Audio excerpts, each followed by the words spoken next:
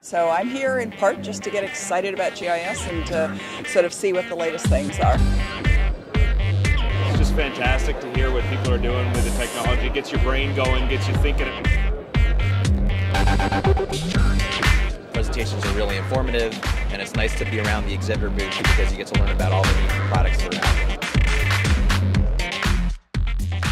I love the classes where I just sit down and take notes on everything from Python to you name it. It's easy to network. Everybody's nice. Everybody's open and looking for new experiences. So I'm really looking forward to networking with people that are already established in the industry. The networking, you know, everything. Uh, going to all the sessions.